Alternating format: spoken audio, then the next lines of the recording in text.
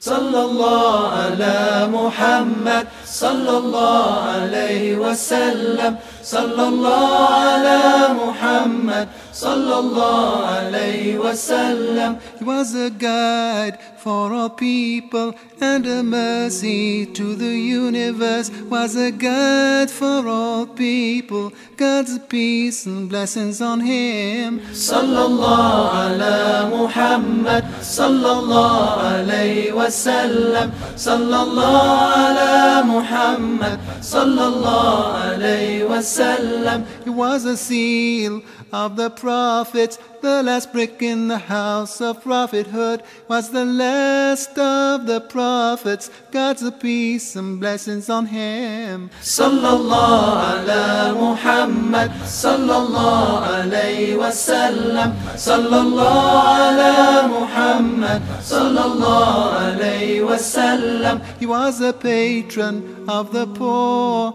always helping widows and orphans, a great patron of the poor. God's peace and blessings on him. صلى الله على محمد صلى الله عليه وسلم صلى الله على محمد Muhammad sallallahu alayhi wasallam. He was a striver against evil and he fought and he won to give rights to all people. God's peace and blessings on him. Sallallahu ala Muhammad, sallallahu alayhi wasallam. sallallahu ala Muhammad, sallallahu alayhi wasallam. He was a stranger to this world, for his aim was the hereafter. He cared little for this world. God's peace and blessings on him. Sallallahu ala Muhammad,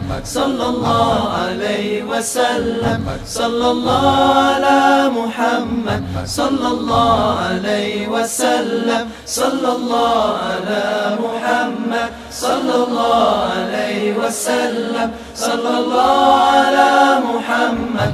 صلى الله عليه وسلم. صلى الله على محمد. صلى الله عليه وسلم.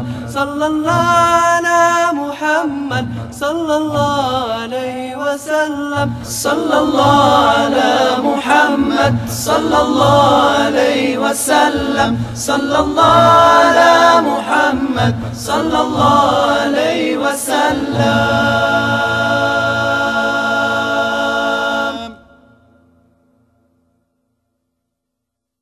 Because everything Muhammad sallallahu alaihi wasallam said and did has been recorded so perfectly in the Quran and in the books of his sayings, ahadith, we know enough about his life to be able to try and follow his example step by step.